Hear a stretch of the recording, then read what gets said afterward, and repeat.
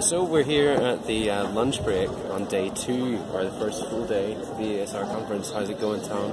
Yes, enjoying it. Sun's out. Uh, two papers so far. Um, well, sorry, two panels so far. The, What uh, was your first one? the first one was um, reconfiguring core co- concepts in the study of religion, where there's a, a mixed group uh, talking about various different you know, controversies in the study of religion, but tying back to that overall concept of the conference in terms of you know um, empirical difference versus systematic degrees, and you know, to what degree can we do a comparative approach of looking at where categories conceal difference or illuminate theoretical understandings. Um, I, was, I really enjoyed that first panel. It was very good.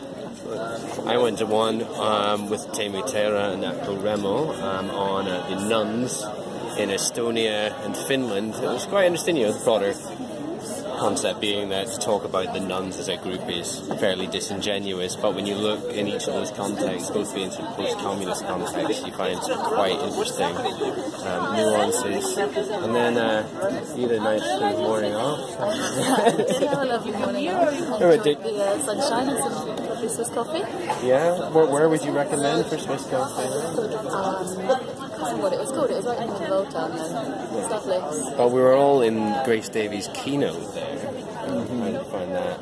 Good. It was particularly ah, enjoyable. I thought it was nice to see kind of wide scale sociological view involving diversity, changes, the importance of context as well.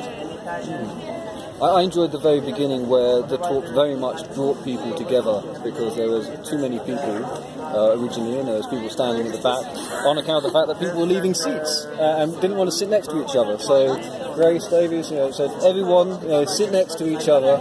So in a very kind of real sense, the talk brought people together in a meaningful way uh, and allowed everyone kind of an opportunity to sit and listen to the talk. Yeah, and maybe there's a metaphor we could actually take from that for the whole talk, uh, which was about uh, sort of tolerance and inclusivity and uh, a bit of railing against Brexit. Um, Embracing the stranger. yeah. Quick straw poll: Brexit, good thing, bad thing, Bad thing. That big and a mess. heckin' bad thing. Take note, Europe. Okay, we're gonna go get some lunch now. Uh, peace.